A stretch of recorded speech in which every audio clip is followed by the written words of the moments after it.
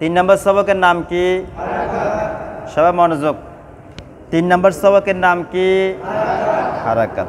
আচ্ছা এবার আসেন, এই হারাকাত কাকে বলে? হরকতের বহু বচন হারাকাত, অর্থাৎ হরকত হচ্ছে এক বচন, আর হারাকাত হবে বহু বচন, ঠিক আছে? তো এই হারাকাত কাকে বলে? জবর, জের, পেশকে কি বলে? জবর জের পেশে কি বলে? জবর জের পেশে কি বলবে? হারাকাত বলবে। আচ্ছা। দেখেন, তাহলে জবর ও ফেস হরফের কোথায় থাকে? উপরে।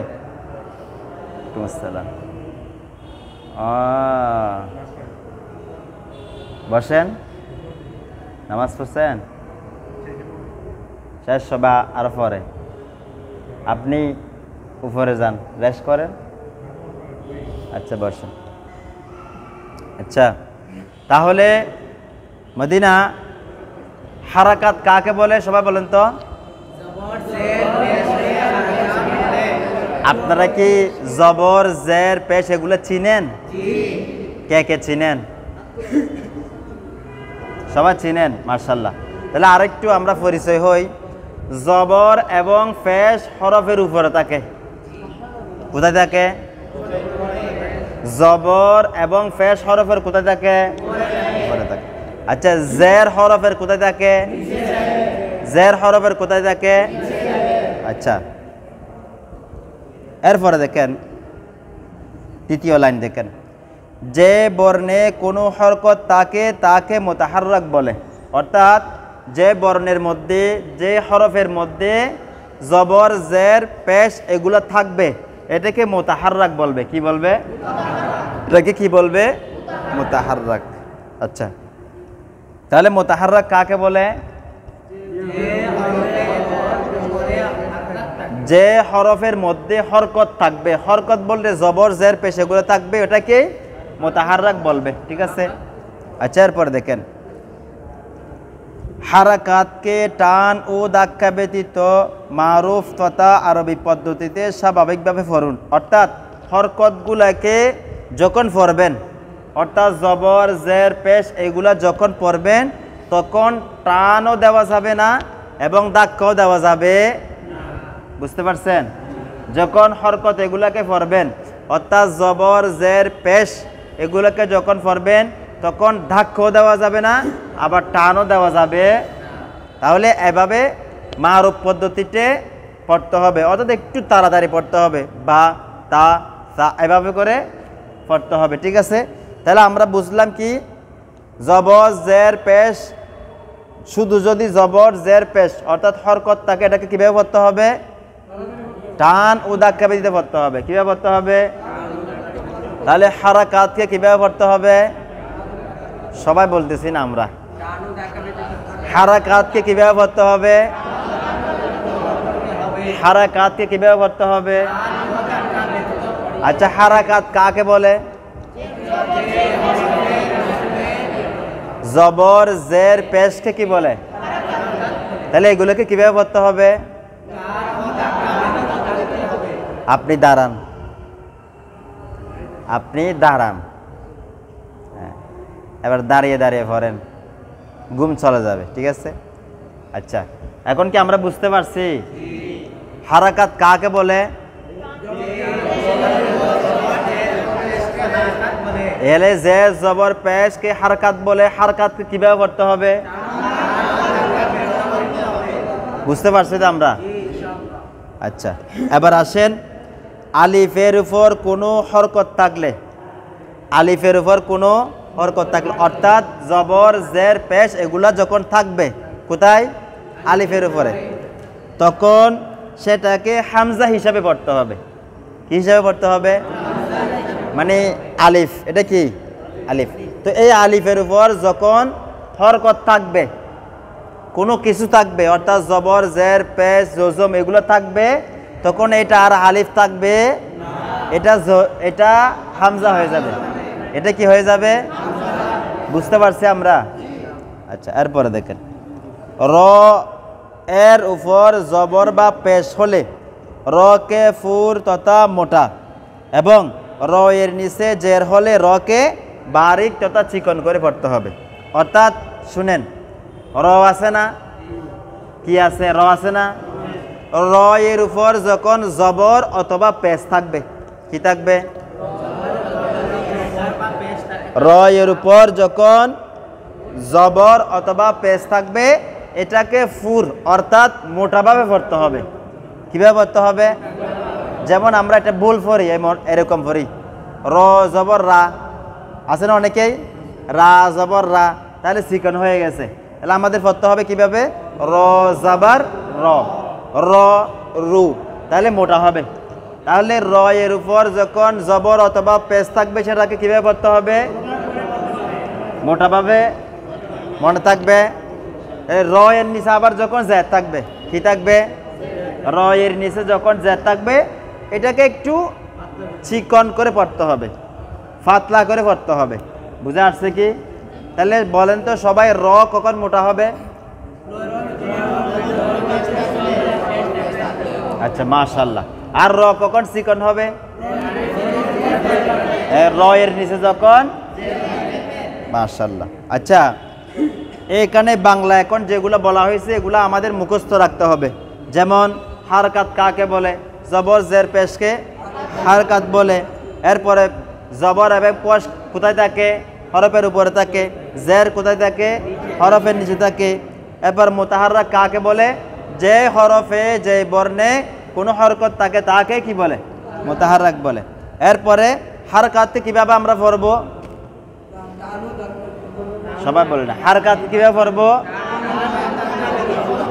এদিকে পড়ছি, এদিকে কে ফেলতেছি, এরকম না। জেহানের মধ্যে কিছু বসা লাগবে। কি করা লাগবে? হ্যাঁ if you eat and you forget nothing আপনি খাইছেন ভুলে গেছেন এরকম না। কি দিয়ে খাইছেন এটাও একটু কি করতে হবে? মনে রাখতে হবে। সেহেরে কি দিয়ে খাইছে এটা মনে আছে না? এখন যদি ভুলে যান, তাহলে কি হবে? তাহলে এগুলো কিছু কিছু জিনিস মনে রাখতে হবে, মাথার মধ্যে ঢুকাইতে হবে এবং বুঝতে হবে। তাহলে আপনার জন্য সামনের পড়াগুলো কি হবে? সহজ মাদানী কায়দা, এটা আন্তর্জাতিক মাদানী কায়দা। এটা কি? দাওয়াত ইসলামের যে মাদানী কায়দাটা আমরা পড়তেছি এটা হচ্ছে আন্তর্জাতিক মাদানী কায়দা। এটা ওয়ার্ল্ডের বিভিন্ন দেশে পড়ানো হয়।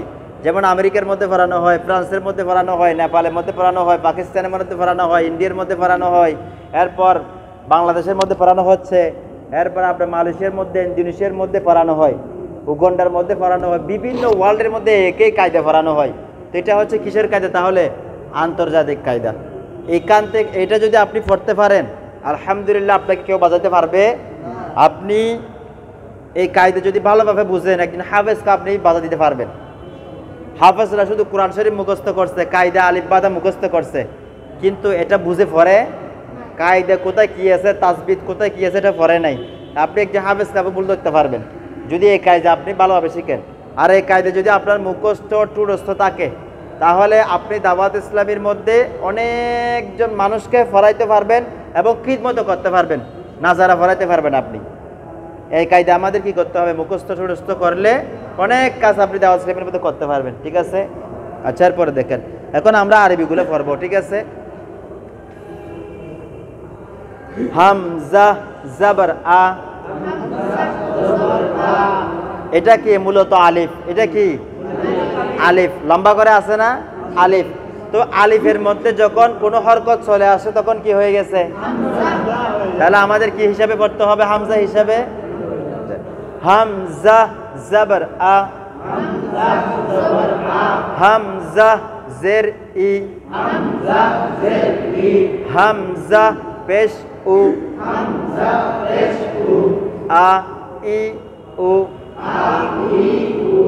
আ ই এরকম টানা যাবে না। আমরা এখন কি করতেছি হারাকাত? এখন কি করতেছি আমরা? তা আমরা কি বলছি হারাকাতকে ট্রেনে করতে হবে? বলছি? তাহলে আমি কি ট্রেনে দিচ্ছি? তাহলে হারাকাতকে কীভাবে করতে হবে? তাহলে আমরা যদি টান দিয়েছি, তাহলে ভুল হবে কি না? হবে কি না? তাহলে আমরা ভুল পড়ব নাকি ঠিকটা পড়ব তাহলে ঠিক হলে কীভাবে করতে হবে? টানও ধাক্কা দিত আচ্ছা এরপরে দেখেন। বা জাবর, বা সবাই আমরা কায়দার দিকে দেখে দেখে পড়ি হাত দিয়ে দিয়ে। বা জের, বি বা পেশ বু বা বি অনেকে আছে ধাক্কা দেয় ভাবে বা বি বু ধাক্কা দে, ধাক্কা দেওয়া যাবে না। আবার অনেকে আছে, বা জবর, বা বাজের বি, বা বেশ বু আছে কিনা এরকম? করা যাবে। আচ্ছা আবার সুন্দর করে। আচ্ছা আমরা আগে পড়ছি কি? বা জবর, বা বাজের বি বা বেশ বু তাহলে বায়ের সাথে যে আলিফ আছে যেখানে যে আলিফ মাদ্দা হয়েছে, তাহলে আলিফকে কি করে দিছি? বাদ দিয়ে দিছি না? এবারে তা তা পড়ছি, তাইয়ের সাথে কি আছে? আলিফ আছে। তো আলিফকে কি করছে? বাদ দিয়ে দিছি কি না? তাহলে কি আল্লাহ তালাকে কাউকে হরফ বাদ দেওয়ার ক্ষমতা দিছে? অনুমতি দিছে? তাহলে বাদ দেওয়া যাবে না। আচ্ছা আবার ধরেন, বা। বা, জাবর, বা। আচ্ছা এখন বাকে কেন টানছি?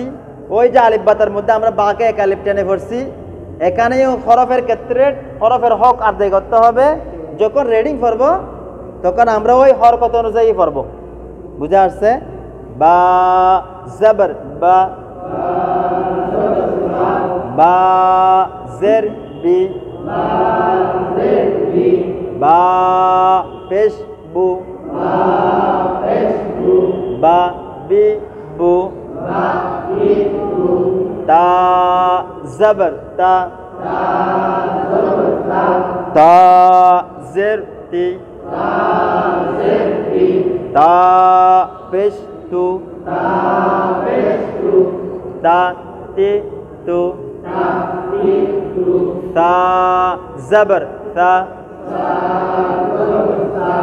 তা জের ফি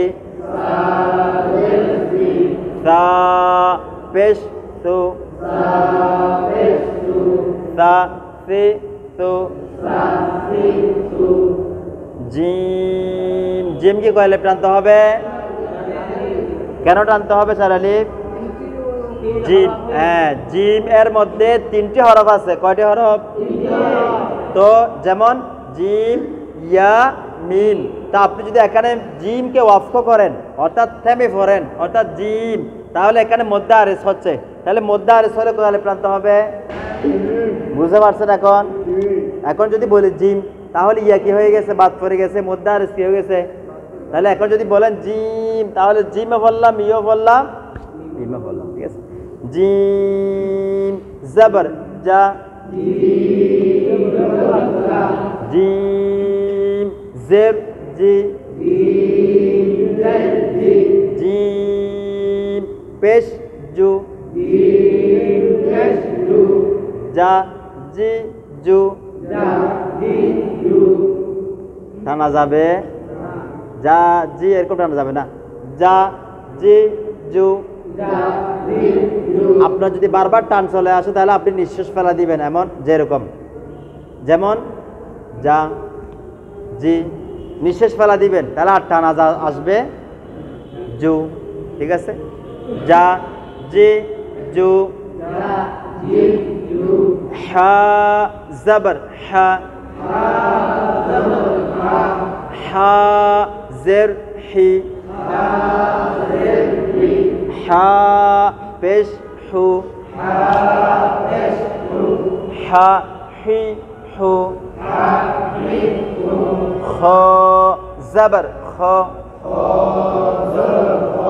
খ, জের, হুই।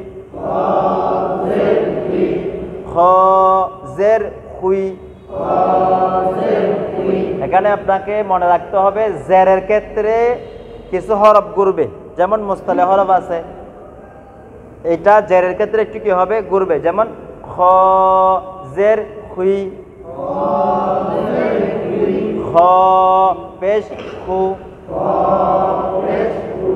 খ হুই খু। দেখেন, এই দাওয়াত ইসলামের এই কায়দা আপনি বালাগান লাগাইতে পারবেন। কি করতে পারবেন? যেমন বাংলাদেশের মধ্যে আমরা আচ্ছা বারো মাদানী কাজের মধ্যে আমরা লিখছি না? যে দাওয়াত ইসলামের বারো দিনই কাজ। একটা হচ্ছে মাদ্রাসাতুল মদিনা বালাগান। লিখছি কিন না আপনারা? লিখছেন না?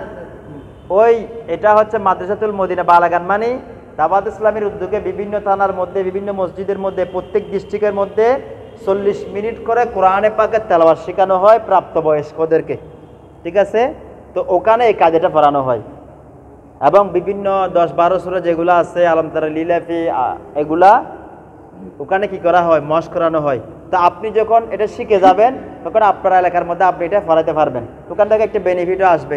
বারো মাদানি কাজও আসবে দাওয়াত ইসলামের কাজগুলো উঠে আসবে। তা আপনি যে কোনোভাবেই আপনি চেষ্টা করে মাদানি কাজে আপনি ওকে করে নেন। তাহলে আপনার যদি এইটাও ওকে হয়ে যায়, তাহলে আপনি কোরআন শরীফ পড়াইতে পারবেন। কারণ কোরআন শরীফের মধ্যে বারান করে করে তো এভাবেই পড়বেন। হামজা, জবর, আ, লাম, মিম, জবর, লাম, আলাম, তা, জবর, তা, আলাম, তা, র, জবর, র, আলাম, তা, র। আলাম তারা কাইভাবে পারেন না।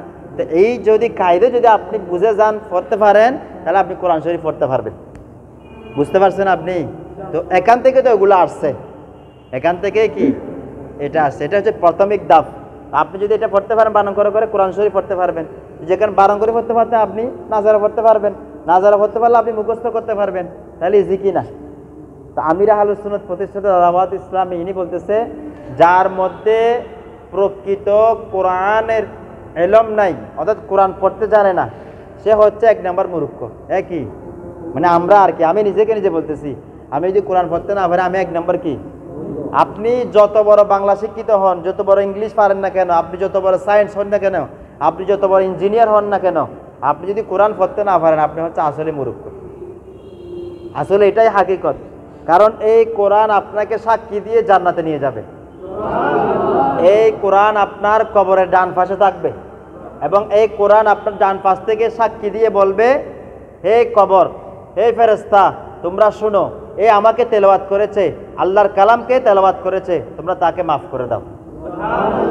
কবরে সাক্ষী দিবে। তো ইসলাম এবার আমাদের জন্য এটা শিখ অনেক বেশি জরুরি। আপনি নিজে চিন্তা করে দেখেন আপনি বাংলা পারানোর উত্তর পড়তে আপনি ইংলিশ পারেন পড়তে আপনি ভালো যোগ বিয়োগ বুঝেন কিন্তু কোরআনের খ কটা এখনও বুঝেন না। তাহলে আপনি মূর্খ না তো কে? আমি মূর্খ না তো কে আসলে হাকিকত এটাই। তো শিকানোর মধ্যে লজ্জা নাই। শিকার শিকার মধ্যে কি নাই? লজ্জা নাই। বরং না শিখে চলে যাওয়ার মধ্যে লজ্জা আছে। আমি ভাবতেছি না এটা লজ্জা না। আমি শিখতেছি এটা লজ্জা না। বরং না শিখে ওরকম মূর্খ থেকে যাওয়া হচ্ছে লজ্জা। তা আমরা এখন আলহামদুলিল্লাহ কোরআন শরীফ শিখাকে আমরা শ্রেষ্ঠ জারি রাখি। ইনশাল্লাহ এটা আপনাকে অনেক বেশি পৌঁছিয়ে দেবে। দেখেন মাদানী কায়দে যখন পড়তে পড়তে যখন পারবেন, এক নম্বর সবক পারতেছেন, তিন নম্বর সবক পারতেছেন, পাঁচ নম্বর সবক পারতেছেন পাঁচ ছয় নম্বর সবক পারতেছেন, যত পারবেন তত আপনার পড়তে মজা লাগবে। যত বুঝে বুঝে পড়বে তত মজা লাগবে। আমি এরকম দেখছি, আমাদের দাওয়াত ইসলামের মাধ্যমে মুসলমান হয়েছে, মুসলমান হওয়ার পরে আলিবাদা কি জিনিস দেখেও না চিনে না, সে এখান থেকে নাজারা পরে শিখে গেছে। আমরা তো ভাই কিছু না কিছু তো চিনি আমরা। আমরা তো একেবারে জীবনে দেখিনি, এরকম তো না। তো ইনি যদি এভাবে অনেক, গত কোর্সের কয়েকটা কোর্সের আগে ষাটজন অমুসলিম মুসলমান হয়ে দাওয়াত ইসলামের মধ্যে আসছে কোর্সের মধ্যে, ইনারা প্রত্যেকে কোরআন শরীফ শিখে গেছে। তেষট্টি দিনের কোর্স করে কয়দিনে কোর্স করে? তা আমরা এক মাসে কি আশি পার্সেন্ট পারব না আমরা? আমরা তো বিশ পার্সেন্ট আমাদের জানাই আছে, তাহলে আশি পার্সেন্ট হলে তো একশো হয়ে গেল। ইনশাল্লাহ আমরা এখান থেকে কোরআনে পাককে সই শুদ্ধ করে, মাদানী কায়দাকে সই শুদ্ধ করে, আমরা ইনশাল্লাহ নিজে যেভাবে পড়তেছি, ওভাবে অন্যকে শিখানোর জন্য আমরা পড়ব ইনশাআল্লাহ। পারব তো ইনশাল্লাহ আল্লাহদের, আল্লাহ তালা আমাদেরকে শিখে শিখানোর তৌফিক দান করুক। সল্লু আলাল হাবিব। আচ্ছা ধরেন, আবার ধরেন। খ, জাবার খ। খ, জের, খুই খ পেশ খু খ খুই খু দাল জবর দা দাল জের দি দাল পেশ দু দা দি দু দা দি দু শুরুতে আ ই উ বা বি বু তা তি তু সা সি তু যা জি জু হা হুই হু খ খুই খু দা দি দু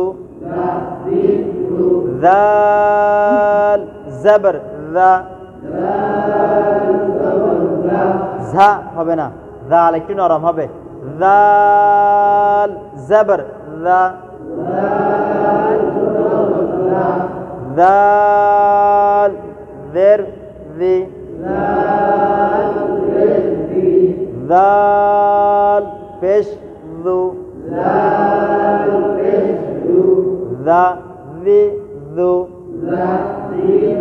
যদি আপনার জা জি জু অথবা যা জি জু এরকম চলা আছে জালের ক্ষেত্রে আপনি একটু জিব্বা উল্টা দিবেন, এভাবে বলবেন।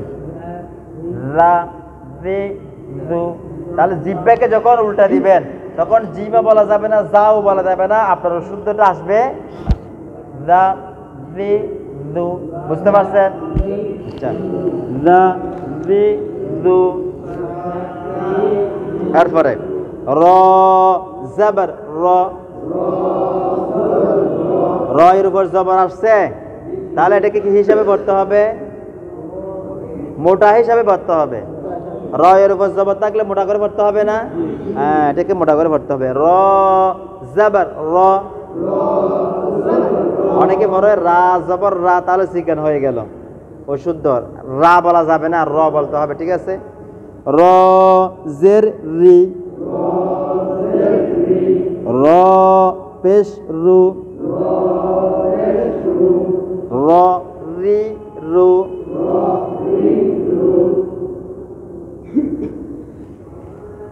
ঝা, জবর জা za zer, zi. Za pesh zu. Za zi zu. Sa si su. Sha shi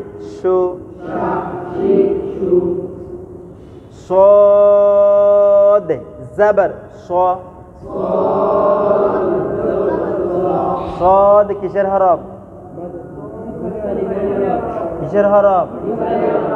না বলে গেছি, ভুলে গেছি। এভরি টাইম ফরগেট হ্যাঁ? তাহলে সদ কিসের হরফ? মোস্তালের হরফকে কীভাবে করতে হবে? তাহলে এই উনত্রিশ হরফের মধ্যে কয়টি হরফকে মোটাভাবে করতে হবে? صاد زبر صا صاد زر شوي সদকে পড়ার সময় লাস্টে একটু, শেষের দিকে একটু কলকলা করতে হবে, যেমন সদে। আদে, সদে। সদ, দদ, যেগুলোর শেষে দাল আছে, যেগুলোর শেষে কি আছে? যেমন সদের পূর্ণরূপ কি? সদ, আলি ডাল এই ডাল যেগুলো আছে, এগুলোকে কি করতে হবে? একটু কলকলা করতে হবে। সদ, জের, সুই। সি বলবেন না, সুই।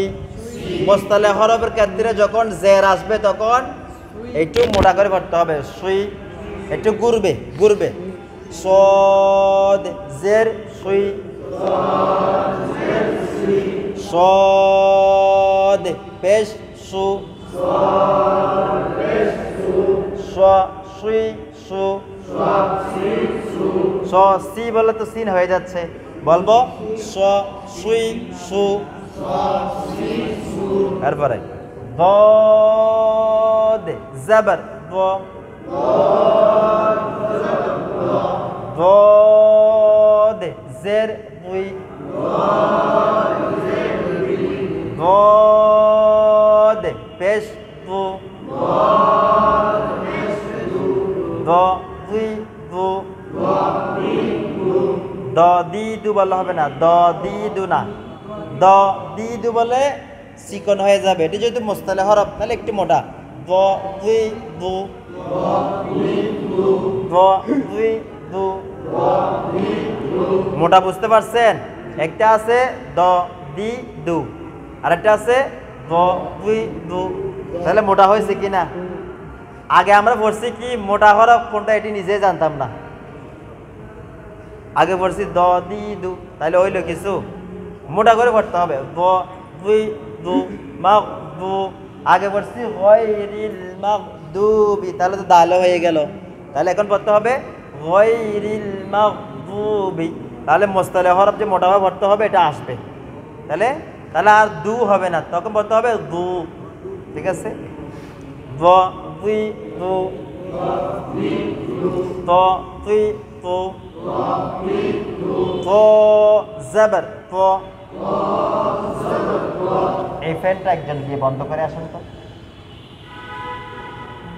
তো, জের তুই তো পেশ তো তো তুই তো ظ زبر ظ ظ زر ظي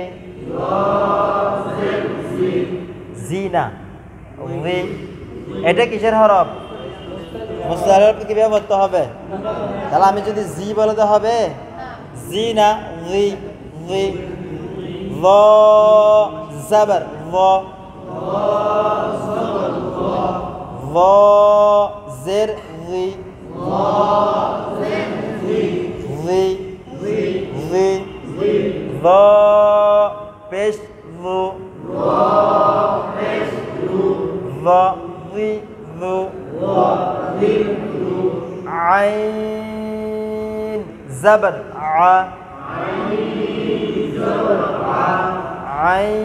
عين زرعي عين بشع عي عو عي عو এই যে এখানে এখানে দেখছেন নরলি হাড্ডি দেখছেন এখানে এখানে এখান থেকেই আইন কি হবে? উচ্চারণ হবে। অনেকে বলে আইনকে আইন না বলে বলে আইন। তাহলে আইনের জায়গায় হামজা হামজাকে ভরে দিছি তাহলে অশুদ্ধ হয়ে যাবে কিনা? আইন কোথা থেকে উচ্চারণ হবে?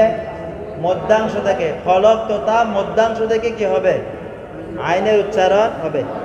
আইন জাবর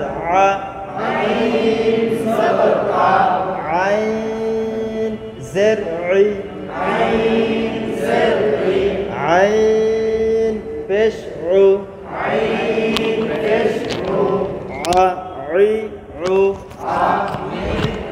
আচ্ছা এরপরে গইন, অনেকে বলে গাইন। এটা গাইন না? বলবে কি? গাইন কি? গাইন কে কে পড়ছেন আগে? এটা গাইন হবে না। আচ্ছা আপনি কি পড়েন? গয়েরিল মাকদুবি পড়েন নাকি গায়েরিল মাকদুবি পড়েন তো যে গয়েন জবর গয়না হবে, তাহলে গয়েন জবর গা কেমনে হয়? গাইরিল গা। গয়রিল হবে, ঠিক আছে? আগে বলছেন কি গাইরিল মাকদুবি মাকদুবি বলছে মাক গইন জবর গ। গইন জের গুই। غين بشغ غغي غو فا في فو قا قي قو قا قا قا قي قو قا قي قو كا كي co la li lo la li lo la li lo la li lo ma mi mo ma mi mo na ni no na ni no واو زبر وا واو زبر وا واو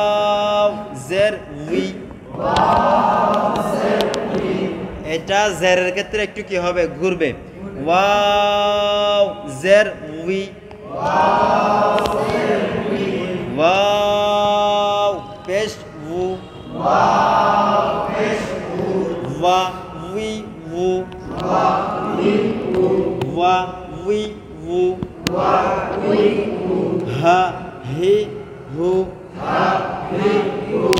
আ ই উ ইয়া জবর ইয়া ইয়া জের ই ইনা ইয়া জের ইনা ইয়া জের ই এভাবে। স্লিপ। আপনার জিব্বাকে স্লিপ করাবেন। ই। ই। ইয়া জের ই। ইয়া পেশ ইউ ইয়া পেশ ইউ ইয়া ই ইউ